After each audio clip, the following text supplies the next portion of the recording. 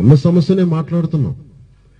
అవన్నీ వదిలేసి మేము రీస్ చేసిన పాయింట్స్ వదిలేసి మమ్మల్ని పిచ్చి పిచ్చిగా తిడతా వ్యక్తిగతంగా తిడితే దానివల్ల భవన నిర్మాణ కార్మికులు భవిష్యత్ బాగుంటుందా?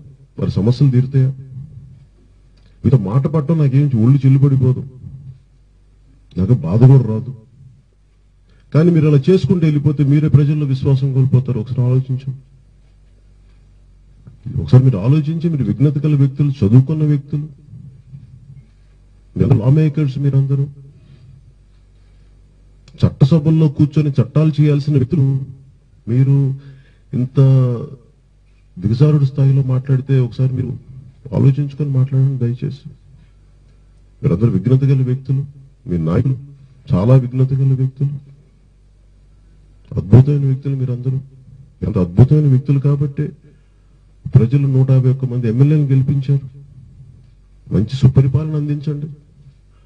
అసలు మీ మీద విమర్శ చేయలేని స్థాయికి మీరు పరిపాలించి మేము ఎందుకు వస్తాం? మా నాలుగు గోడల నుంచి బయటికి కూడా రాలేము మేము. మాకు సరదాగా రోడ్ల మీదకి వచ్చి మాట్లాడటానికి. నిజంగా మీరు గొప్ప పరిపాలన అందిస్తే మాకు నిజంగా మిమ్మల్ని మేము మెచ్చుకుంటాం శభాష్ అంటాం. కానీ మీరు తప్పులు చేస్తున్నప్పుడు లేదా మీ పాలసీ విధానాలు తప్పులు ఉన్నప్పుడు మేము ఖచ్చితంగా మాట్లాడతాం. అది మేము ప్రతిపక్షంగా ఒక ఎమ్మెల్యే ఉన్నప్పటికీ ఏడు పాయింట్ ఐదు శాతం ఓటు ఉన్నప్పటికీ మీ అంత లేనప్పటికీ ఒక రిజిస్టర్డ్ పొలిటికల్ పార్టీగా మీ విధి విధానాలని మేము చూస్తాం. తప్పు ఒప్పులు ఉంటే మాట్లాడతాం. అంతేకాని మిమ్మల్ని ఒక్కళ్ళు కూడా ఒక మాట అనకూడదు. ఏదైనా మాటని అంతు చూస్తాం. ఇవన్నీ అంటే మాట్లాడుతూ ఉంటే వైసీపీ నాయకులు చెప్తున్నాం ఎమ్మెల్యేలకు కానీ.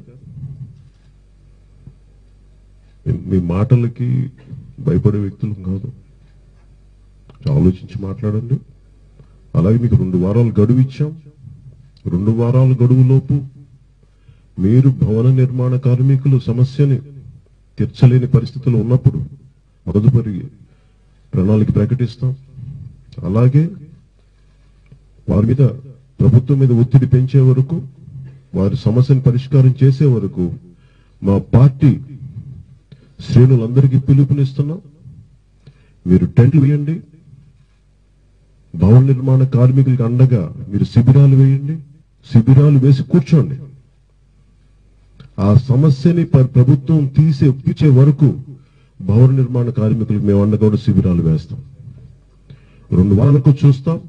రెండు వారాల లోపు కూడా ఒక విధి విధానాలు ప్రకటించకపోయి ఆ సమస్యను తీర్చకపోయినప్పుడు ఖచ్చితంగా మళ్ళీ ఇంకా చాలా పెద్ద తీసుకుంటాం. అలాగే నిన్న ప్రధానంగా వారికి ఉంది. వారికి నెలకి చనిపోయిన వ్యక్తులకి కనీసం ఐదు లక్షల రూపాయలు ఎక్స్ ప్రకటించడం అలాగే నెలకి వారి కార్మిక వెల్ఫేర్ ఫండ్ ఉంది కన్స్ట్రక్షన్ వర్కర్స్ వెల్ఫేర్ ఫండ్ ఉంది. అన్నిటికీ భవన నిర్మాణం ఏ నిర్మాణం చేసిన కన్స్ట్రక్షన్ సెస్ ఉంది.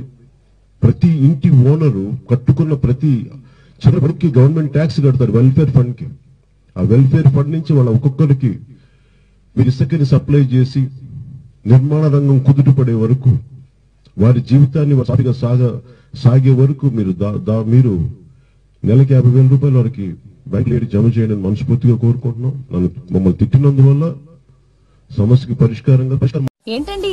వీడియో నచ్చిందా? అయితే ఓ లైక్ వేసుకోండి. లేదంటే ఓ కామెంట్ చేయండి. ఎప్పటికప్పుడు మా వీడియోస్ చూడాలంటే సబ్స్క్రైబ్ చేసుకోండి.